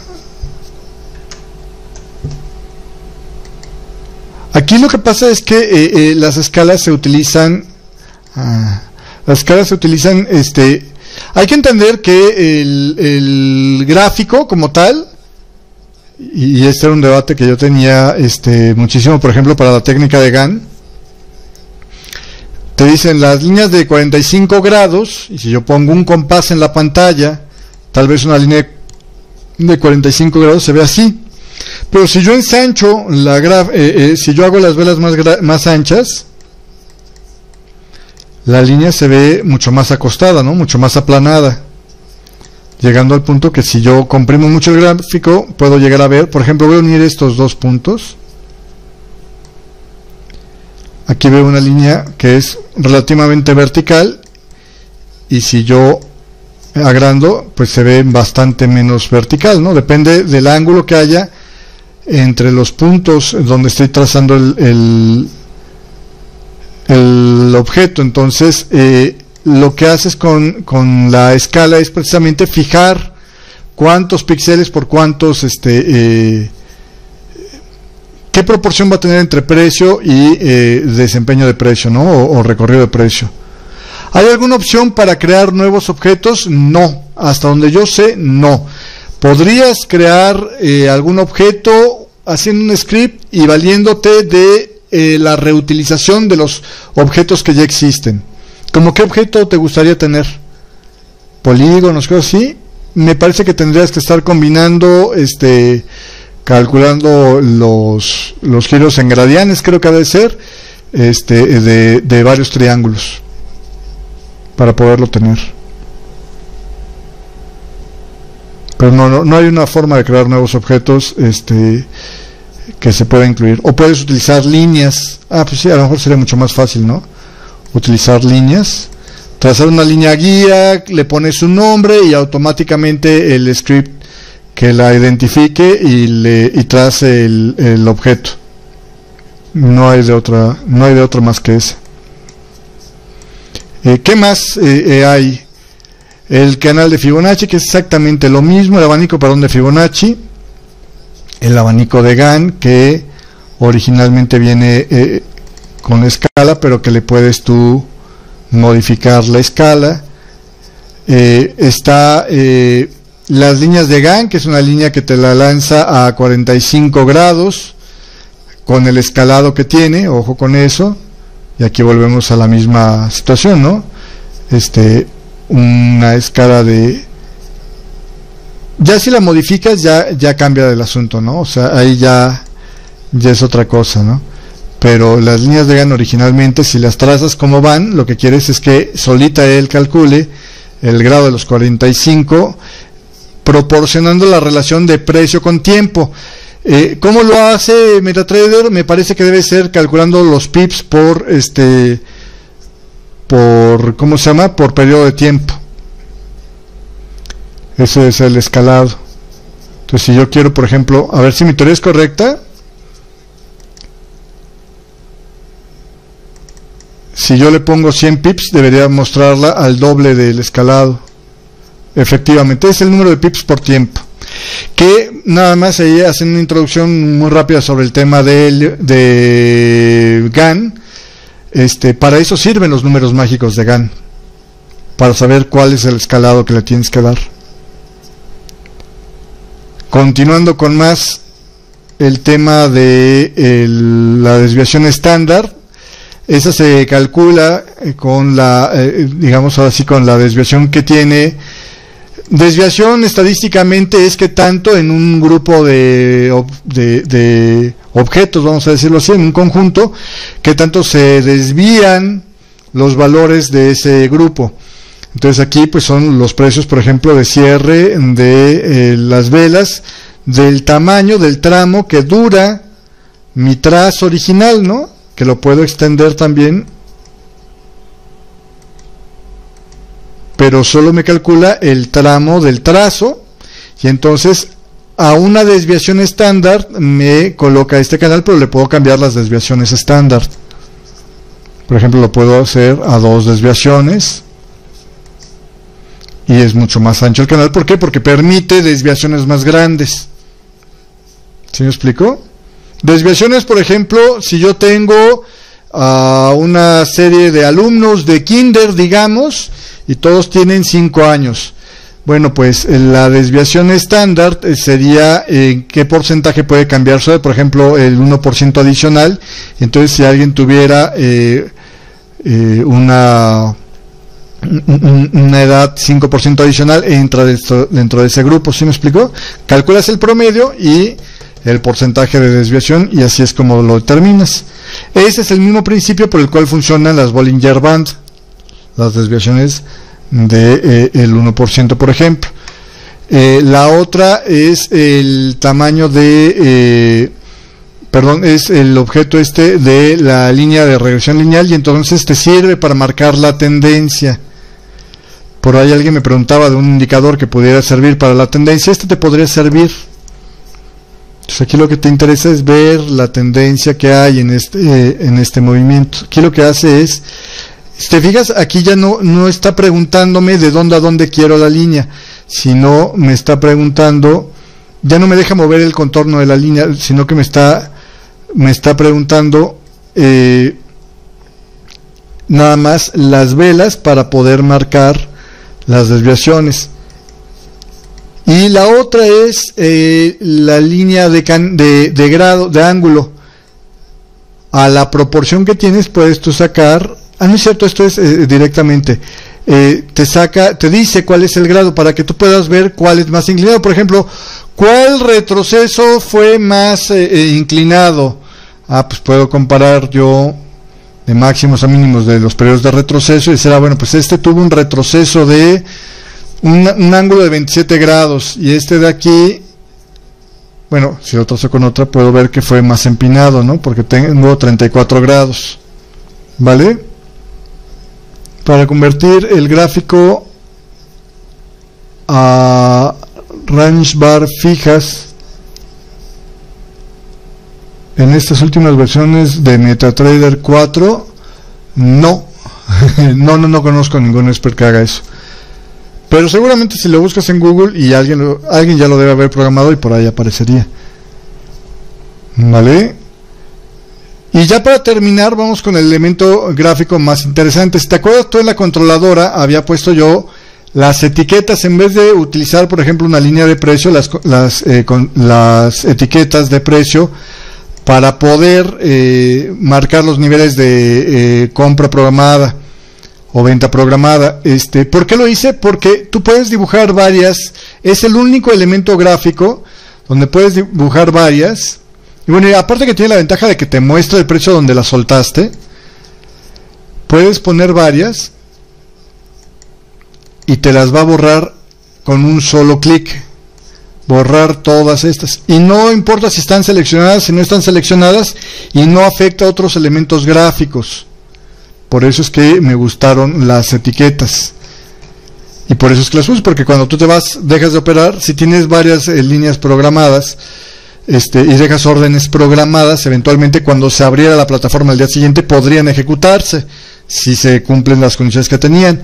Entonces, para evitar eso, antes de irte simplemente dices bórrame todas las eh, eh, arrows y ya están por cierto si tú dibujas una etiqueta y quieres cambiarle de lado no tienes que redibujarla nada más te vas a propiedades en parámetros el 5 lo cambias por 6 o si dice 6 lo cambias por 5 y cambia de lado por si te estaba estorbando y con esto terminamos la parte de este, eh, las etiquetas. Me falta mostrarte los elementos gráficos. Me falta mostrarte ahora cómo se hace un time frame que no existe en MetaTrader. Este es un time frame. Vamos a bajarnos, por ejemplo, tú sabes, voy a volver a poner la, la, la ventana de periodos. Tú sabes que eh, MetaTrader tiene estos periodos y se acabó, pero yo utilizo gráficos de 6 minutos. No quiero de 5, no quiero de 15, quiero de 6 minutos. ¿Cómo le hago? Bueno, el procedimiento es muy sencillo. Uno que puedes utilizar eh, prácticamente ya como tienes porque eh, la, computadora, porque el MetaTrader, perdón, instalado, porque viene en eh, los scripts de default, es el siguiente procedimiento. Yo abro un gráfico este, en el que deseo ver el múltiplo. Por ejemplo, si quiero ver un gráfico de 6 minutos, abro el gráfico de un minuto Y después de ahí me voy a poner en el navegador. Y aquí viene uno que dice eh, period, period converter. ¿Vale? Lo arrastro y lo suelto sobre el gráfico y me va a preguntar por cuánto quiero multiplicar el periodo. Bueno, si este es de un minuto y yo quiero ver gráficos de 6 minutos, aquí le pongo 6. ¿Vale? Y le doy a aceptar. Y dices, uy, valiente asunto, no funcionó. Espérate, todavía no acabo. Lo que hace este script es estar mandando la información y multiplicándola o agrupándola en paquetes de 6 periodos. O vamos, 6 eh, velas de estas me las va a poner en un solo paquete. Si tú te fijas, en el menú File viene la opción de abrir offline. Significa abrir las gráficas que no tienen feed automático de precio, al menos no por MetaTrader. Le abres el offline y te va a dar una lista de las gráficas offline. Ahí busco la gráfica del euro en el periodo que yo creé. Es del USD CZK, a ser dólar contra no sé qué checo, este USD CZK, y ahí viene ahora ya el gráfico de 6 pero Fíjate que es el único que viene con gráfico de 6 minutos, M6. Le digo que este es el que quiero abrir, y voilà, ya tengo un gráfico de 6 periodos. El problema es que no cambia el precio, está fijo. Hay otra forma de hacerlo para que te actualice el precio. Cierro este. Agrego un indicador que te lo puedes bajar ahí de la plataforma de MetaTrader que se llama mm, mm, mm, ¿dónde están mis indicadores? Insert Indicators Custom. Se llama P4L Period Con. F7 abre las propiedades de un Expert Advisor si lo tienes conectado. F8 sirve para eh, abrir el chart setup, pero que te digo por el programita este que tengo aquí para ver las teclas no lo deja abrir. F9, A, F9 abre una nueva orden, la pantalla para, para colocar una nueva orden, pero que también por este programa no me lo deja, perdón. F10 abre la, abre la ventana de precios. Esta es una ventanita. Ah, que caray que no lo deja. F10, ¿dónde están?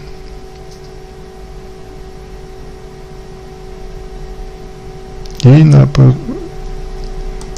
no, pues sabes ni modo, voy a cerrar esto y ahorita lo abro. F10 abre la ventana de precios. Esta es la ventana de precios. Le puedes cambiar la configuración, le puedes pedir que te ponga más datos, el máximo y el mínimo del día, bueno, del periodo. No es del día, ¿eh? Del día este, la hora del último cambio, o sea, cuándo fue la última vez que cambió el, el precio.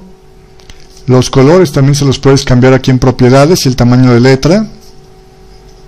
El fondo, por ejemplo, que sea blanco. El tamaño de letra, el tipo de letra es Taoma. Puedes pedir que sea Arial o lo que quieras. Este, el tamaño, no sé por qué. Ah, custom size. Lo activas aquí y le das el tamaño. Ok, y ahí está. Nada más lo tienes que configurar en un tamaño de donde se pueda ver y ya queda. Ah, y el tamaño, el color de la letra también hay que cambiárselo para que se vea aquí. Pero bueno, en fin. Todo esto lo puedes configurar, ¿no? Aquí está. Este en el foreground le vas a poner por ejemplo negro para que se vean las letras y ya quedó es lo mismo que te pasa cuando cambias el color y le dejas el foreground este del mismo color del background en el gráfico no vas a ver los precios básicamente es esto y ahí tienes tú este todo lo que hay eh, para este F10 luego vámonos con las siguientes F11 cambia el gráfico a pantalla completa eso ya lo habíamos visto solo te deja la pura barra de menú todo lo demás es información del gráfico. Muy cómodo cuando tienes eh, muchas gráficas y poco espacio para leer. Este F12 desplaza el gráfico a la izquierda. Ahí se nota, ¿no? Bueno, ahorita cuando tengo con el auto scroll ya de rápido se hizo, pero vamos. Y si estás en un modo de prueba, F12 te muestra el siguiente tick. Si la tienes pausada F12 te muestra el siguiente pip, el siguiente tick, perdón. Eh, F5, Shift F5 te cambia al perfil anterior. Ah, hay una cosa que no hemos visto y son los templates. Hasta ahorita solo hemos visto los, los, los perfiles, pero no los templates. ¿Qué tal que yo siempre que me conecto, que abro una gráfica nueva, quiero ver una gráfica este, con un promedio móvil puesto? Pues lo que puedo hacer es, le pongo el, o un indicador eh, X. Por ejemplo, el, el indicador de ¿dónde estaban los indicadores aquí? Este, ah no, que están antes antes aquí estaba también para agregar los indicadores y lo quitaron, pero antes te digo MetaTrader de 13. Este, eh, digamos que quiero yo meterle el indicador de Bill Williams de el alligator. De ley, ¿no? Eh, ¿qué es esto? como que mi puntería con el mouse está fallando, pero en fin, bueno, el MACD, para no tardarme. Siempre que abro un gráfico nuevo, quiero ver esto del MACD. Si yo abro un gráfico nuevo, no voy a ver el MACD si no lo tengo así programado, pero si le agrego a el perfil, que por aquí debe venir el template, perdón. Si aquí no aparece el template, tampoco ya no aparece aquí el template. Uy, qué cosas. Bueno, el template lo puedes ver aquí en Charts, Templates. Lo puedo salvar como un template. Y le pongo gráfica con MACD.